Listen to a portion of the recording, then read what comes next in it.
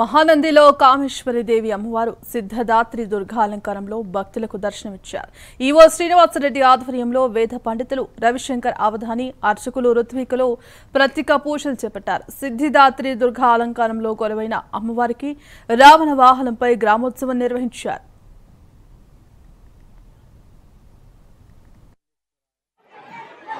దసరా మహోత్సవాలు బ్రహ్మోత్సవాల సందర్భంగా ప్రతిరోజు మూడో తారీఖు నుండి ఈరోజు వరకు కూడా అమ్మవారు వివిధ అలంకారం వద్ద భక్తులకు దర్శనమిస్తారు. భక్తులందరూ కూడా ఎలాంటి ఇబ్బంది కలగకుండా దేవస్థానం తరపున అన్ని ఏర్పాటు చేయడం జరిగింది. ఈ ఉత్సవాల్లో చివరి రోజు ఈరోజు ఈ రోజు రేపు లక్ష్మి హోమం ఉంటుంది.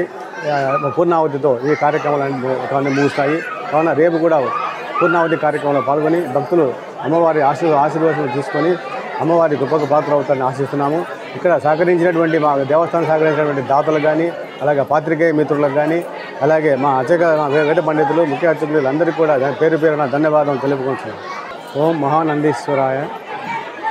దసరా మహోత్సవాలు బ్రహ్మోత్సవాల సందర్భంగా ప్రతిరోజు మూడో తారీఖు నుండి ఈ రోజు వరకు కూడా అమ్మవారు వివిధ